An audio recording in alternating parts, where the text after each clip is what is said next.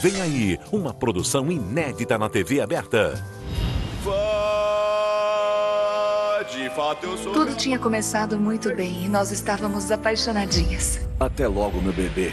Sucesso em mais de 40 países. Você ficou feliz quando eu nasci? É claro que eu fiquei feliz, minha filha. Hum. Mas você não ficou feliz quando eu nasci porque o papai não estava em casa.